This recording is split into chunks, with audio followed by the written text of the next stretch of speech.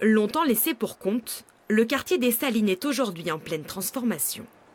Au pied de cette tour sera construit un nouveau réseau hydraulique, financé à hauteur de 30% par l'Union européenne. Ce projet, comme beaucoup d'autres, a été encadré par le comité de suivi des fonds européens, réuni aujourd'hui à la collectivité de Corse. C'est une façon d'illustrer concrètement, par euh, l'évocation d'un certain nombre de projets, euh, ce que permettent les fonds européens. Et la période actuelle est charnière. C'est en ce moment même que s'élaborent les programmes de financement européens pour les 10 ans à venir.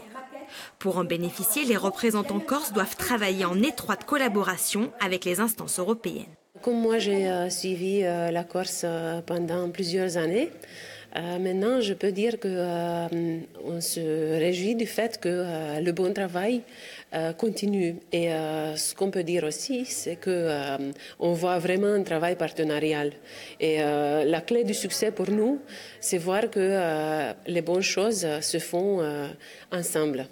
Pour obtenir le maximum de financement, les régions comme la Corse doivent convaincre Bruxelles en développant un projet et une stratégie cohérente. Nous allons nous battre pour avoir le maximum de fonds possible après 2020. Mais même si les fonds diminuent, moi je resterai très pro-européenne et il faut justement continuer à travailler avec les autres. Parce que tout seul, alors sans fonds et tout seul, alors là c'est clair que nous n'y arriverons pas. Sur la période 2014-2020, la Corse pourra bénéficier de 275 millions d'euros d'aide européenne.